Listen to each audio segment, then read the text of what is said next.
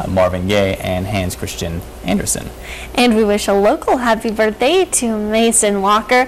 Also, a belated birthday to Rashawn and Deshaun Welch, Jordan Rodriguez, and Carrie Carter. Also, a very special happy birthday to Nick's girlfriend, Sarah Yeah, Hurwitz. Sarah Hurwitz, uh, born today.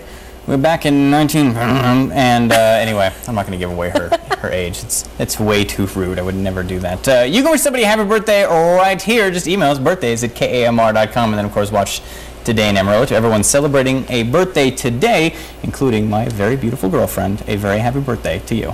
You're so sweet, Nick. Aw. We'll have to clip this clip and send it to her. Yeah, that'll hopefully make her happy.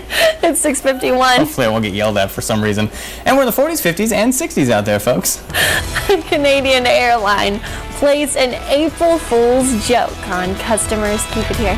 And I'll have one last look at your forecast. That's right after the break.